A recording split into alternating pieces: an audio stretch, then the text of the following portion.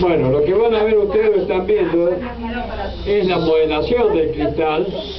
Le hacemos un poquito de silencio aquí al fondo, puede ser, así nos escuchamos todos. Decía que es, lo que van a ver ustedes es la modelación del cristal.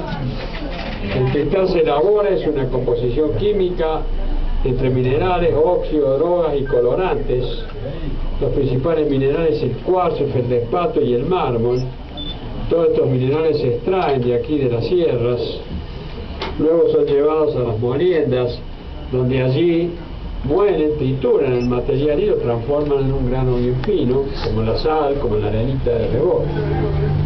Luego después ese material es llevado, es comprado, mejor dicho, por las cristalerías, y allí en fábrica el químico prepara lo que él llama composición química, que es mezclar todos los minerales, los óxidos, las drogas, los colorantes que llevan su composición el cristal.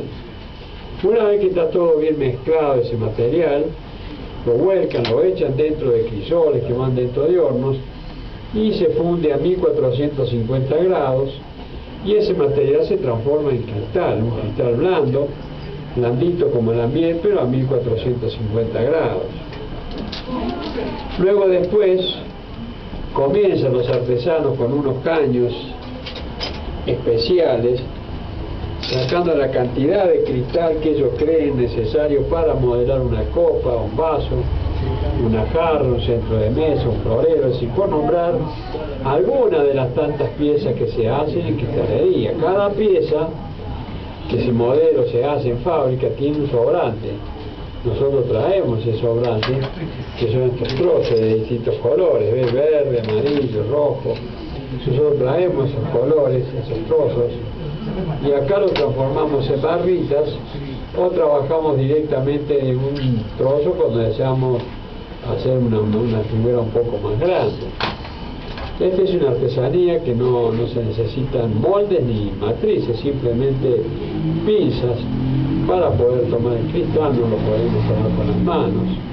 El soplete también 450 grados y el cristal puede llegar a 900 a 1000 grados, sé que sería difícil, yo no me animo por otra parte. Entonces, usamos pinzas, que con eso sí le vamos a dar la forma. Ustedes van a ver cómo se va formando, sin molde, sin nada que ustedes piensen que hay, no hay nada acá, simplemente como ustedes están viendo cómo se va formando la pieza. Esta es una artesanía que tiene sus orígenes en Italia, en Murano. Allí se